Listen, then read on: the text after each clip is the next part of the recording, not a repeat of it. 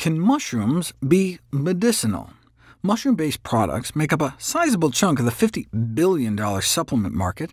This profitable trade provides a powerful incentive for companies to test the credulity of their customers, and sadly, unsupported assertions have come to define the medical mushroom business.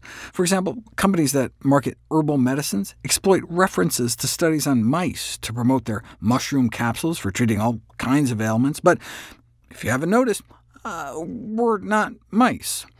I mean, it wouldn't be surprising if mushrooms have some potent properties. After all, fungi are where we got a bunch of drugs, not the least of which penicillin, and also a cholesterol-lowering drug lovastatin, and the powerful immunosuppressant drug cyclosporin. Still don't think a little mushroom could have pharmacological effects?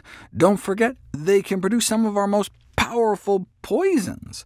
Uh, some kind of look the part, like the toxic Carolina false morel, all toadstooly and such, but others have more of an angelic look. Indeed, literally called the Destroying Angel, that's its name, as little as a teaspoon can cause a painful, lingering death. So anyway, we should have respect for the pharmacological potential of mushrooms. But what can they do that's good for us? Well, consuming shiitake mushrooms daily improves human immunity. Uh, giving people just one or two dried shiitake mushrooms a day, about the weight equivalent of 5 to 10 fresh ones, for four weeks, resulted in an increase in proliferation of gamma-delta T lymphocytes and doubled the proliferation of natural killer cells.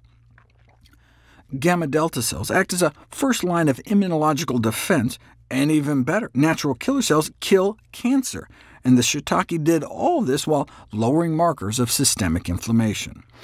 Oyster mushroom extracts don't seem to work as well, uh, but what we care about is if mushrooms can actually affect cancer outcomes.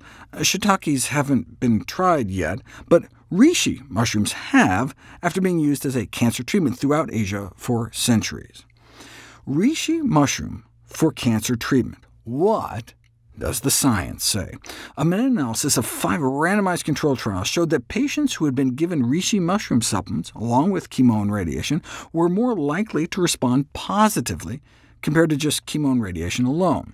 Now, although adding a reishi mushroom extract improved tumor response rates, the data failed to demonstrate a significant effect on tumor shrinkage when the mushrooms were used alone so they aren't recommended as a single treatment, but rather an adjunct treatment for patients with advanced cancer.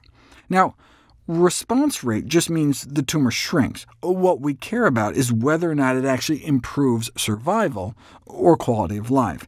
We don't have convincing data suggesting reishi mushroom products improve survival, but those randomized to reishi were found to have relatively better quality of life, so that's a win as far as I'm concerned.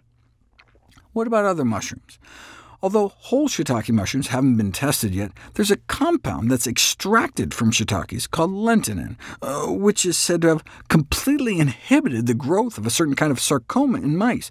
But in actuality, it only worked in one single strain of mice and failed in nine others. So are we more like the 90% of mouse strains in which it didn't work? Uh, we need human trials, and we finally got them. There are data on nearly 10,000 cancer patients who have been treated with the shiitake mushroom extract injected right into their veins. What did the researchers find?